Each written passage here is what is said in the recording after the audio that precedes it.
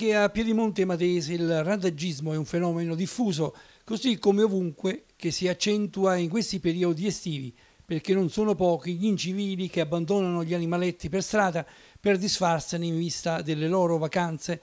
Piedimonte città riesce ad arginare alla meglio il gravissimo problema. Vediamo come nell'intervista che ha raccolto per noi Valentina Monte.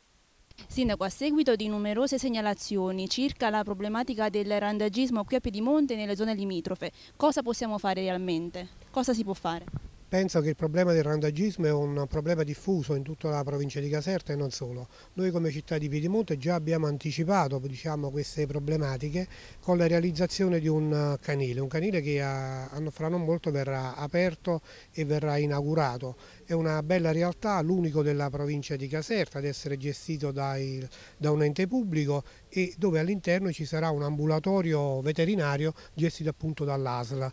Quindi è una bella realtà, l'unico in provincia di di Caserta, come dicevo, è uno dei pochi della regione Campania. Quindi possiamo dire che in questo modo mm, possiamo tranquillizzare un po' i cittadini e tutti gli abitanti? Certo, tranquillizziamo i cittadini, gli abitanti, ma soprattutto gli ambientalisti, gli animalisti, dove sarà appunto possibile eh, per esempio sterilizzare i cani direttamente presso l'ambulatorio veterinario. E da Piedimonte Matese è tutto, Valentina Monte per casertasera.it.